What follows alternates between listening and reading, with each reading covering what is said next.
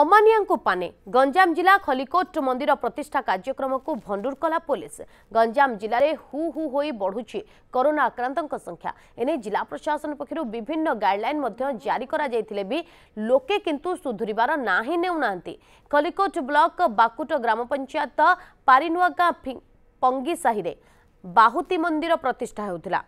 ମନ୍ଦିର ପ୍ରତିଷ୍ଠା କାର୍ଯ୍ୟକ୍ରମରେ ବହୁ ଲୋକ ସାମିଲ ହୋଇଥିଲେ ଖବର ପାଇ ଥାନା ଅଧିକାରୀଙ୍କ ସମେତ ଖଲିକୋଟ ତହସିଲଦାର ଘଟଣାସ୍ଥଳରେ ପହଞ୍ଚି କାର୍ଯ୍ୟକ୍ରମକୁ ଭଣ୍ଡୁର କରିଥିଲେ ପୋଲିସ ଘଟଣାସ୍ଥଳରେ ରନ୍ଧାଯାଇଥିବା ଖାଦ୍ୟ ସବୁ ଫିଙ୍ଗିବା ସହ